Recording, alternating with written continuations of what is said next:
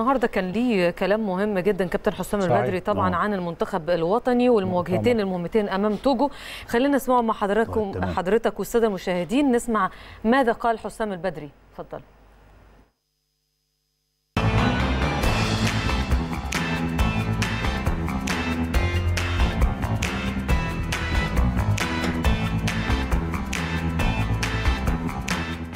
عملنا القايمة وحطينا في حساباتنا كل الاحتمالات آه، لسه آه، يعني في أيام متبقية على المباراة الرسمية.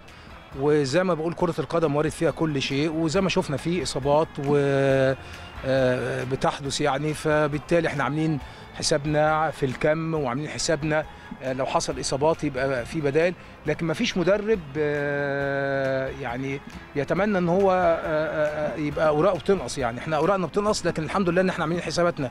لكن أنا كمدرب بفضل إن كل العناصر تبقى موجودة والاختيارات الفنية الأخيرة بقى يبقى الكل متاح وأنا اللي بختار العناصر الفنية اللي تقدر تمثلني في الآخر. في صعوبات كتيرة واجهناها الفترة اللي فاتت آه، إن شاء الله يعني آه، يعني الف- الفترة دي أفضل كتير. إن شاء الله الظروف تبقى أحسن آه، وإحنا متفائلين بالفترة اللي جاية. عندنا هدف واحد دلوقتي.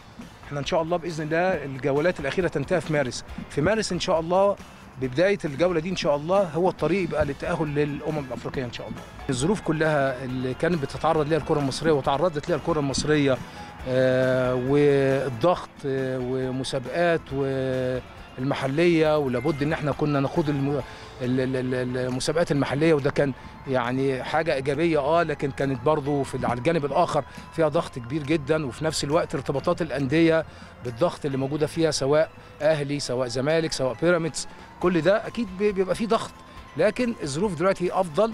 لكن نتمنى إن شاء الله بحاله ال- ال- ال- الضغط الكبيره اللي عاشتها الكرة المصرية واللاعبين اللي معظمهم موجودين معانا دلوقتي يبقى في تركيز عن طريق آه، أكيد النواحي الفنية اللي موجودة عندهم وأكيد النواحي اللي موجودة عندنا لكن الموضوع عاوز طبعا إن هو يبقى فيه بقول آه، تركيز في جدعنة في رغبة في رغبة لأن الظروف صعبة جدا اللي فاتت دي فممكن يبقى في لعيبة تعبانة ممكن يبقى في لعيبة مجهدة.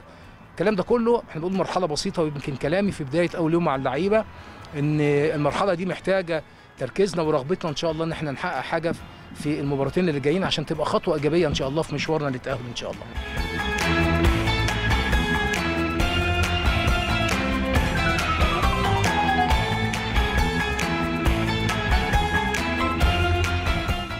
ابتدى كل لعيب بيقول جدول آه، وصوله وإن شاء الله يمكن آه، بمجرد الانتهاء يعني من المواعيد النهائية هنعلنه لحضراتكم هنقول مين جاي إمتى ومين آه، بس طبعا كل لعيب يمكن كان في ماتشات هتتلعب سبعة واتأخرت يوم فكان عندنا لعيبة هتلعب يوم سبعة فهيجوا ثمانيه دلوقتي اللعيبه هتلعب ثمانيه في أربعة من الخمسة هيلعبوا آه، ثمانية فطبعا هيوصلوا تسعة. وارد إن هو يكون يوم تسعة ما يشتركوش في ال- في التدريب ال- الأول. آه، وفي الحالة دي هيبدأوا إن شاء الله من يوم عشرة. إن شاء الله حجازي هو اللي هيجي آه، بدري شوية. وإن شاء الله ممكن يكون معانا من أول آه، يوم. الحتة اللي أنت بتتكلم فيها ديت مفيش منها أي مشاكل خالص.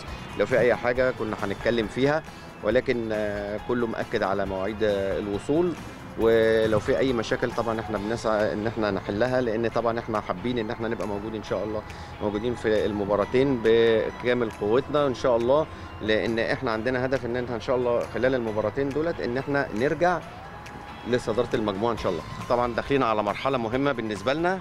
عايزين تكاتف الجميع وعايزين المساندة ودايما بننتظر المساندة من حضراتكم. الكابتن حسام مش من نوع المدربين اللي بيضغط عليهم ولا أي حاجة خالص وبيشوف وبيعمل اللي هو من وجهة نظره ده لمص- لمصلحة منتخب مصر وده ظهر في مواقف كتير وهيظهر لسه بعد كده في مواقف كتير.